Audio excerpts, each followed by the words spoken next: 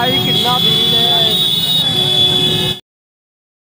है गाइस भाई ना मतलब नहा धो भाई रेडी हो चुका हूँ और भाई चलते हैं। पेपर देने मतलब एग्ज़ाम देने चलते हैं भाई। और ये देखो आदर्श और ये भाई अपनी वाइट शर्ट और ये ब्लैक पैंट और ये छप्पर।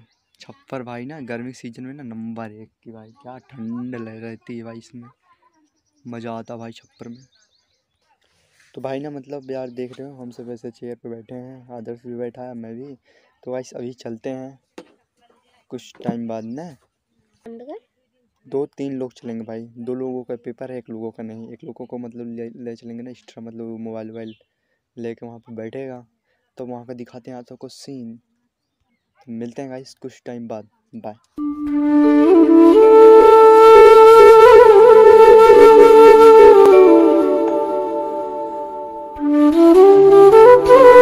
गाइस भाई ना मतलब कॉलेज तो पहुँच चुके हैं और देख रहे हो ये पीछे भाई बहुत सारे बालक हैं यार। तो मतलब स्कूल दिखाते हैं सबको कॉलेज फिर गाइस चलते हैं भाई एंट्री लेते हैं तो।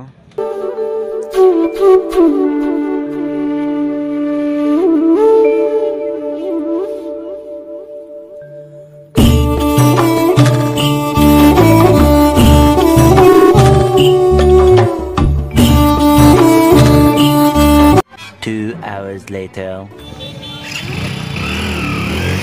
ये देखो भाई, स्कूल की पेपर हो चुका है इन लोगों का। देख लो भाई कितने लोग हैं? देख रहे हो, बहुत लोग हैं। देखो भाई, यहाँ पर आई ना मतलब एग्ज़ाम तो जो भाई छुट्टी उट्टी देख रहे हो तो दो घंटे बाद भाई तुमने देख रहे हो ना, इतना भाई भीड़ है ना, बहुत ज़्यादा और ये आँसू भाई यहीं पर बैठा हुआ था और बड़े भैया आ जाए तो उसके बाद चलते हैं।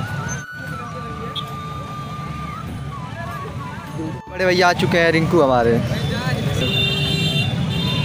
चल जल्दी करे यार भैया जल्दी जल्दी जल्दी। भैया भैया मत बड़का भैया पीछे मम्मी बैठे थे यार।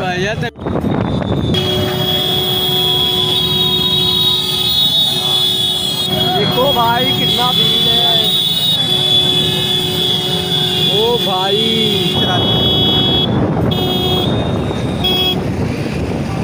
भाई ना मैं भाई ना एग्ज़ाम देकर भाई घर पे आ चुका हूँ और ये देखो मैंने ये डाले भाई ठंडी लग रही थी ना और ये लग रहे हो मार्केट आ नहीं रही है। ये भाई मतलब आंटी जा चुके हैं वो सोनू सिंह है। और देखो शाम भी हो चुका भाई सनसेट तो हो चुका है। और यहाँ कुछ ऐसा सीन है ब्रो गाइस भाई ना अगर मेरा वीडियो भाई आप सबको अच्छा लगता हो ना तो लाइक कमेंट और सब्सक्राइब कर लेना ब्रो और ये देखें इंडिया के मतलब हमेशा गुटखा खाते हैं। हमेशा गुटखा तो भाई इस ब्लॉक को यहीं पे एंड करते हैं, मिलते हैं नेक्स्ट वाले ब्लॉग में। तो कल अब मिलते हैं आप सबसे। बाय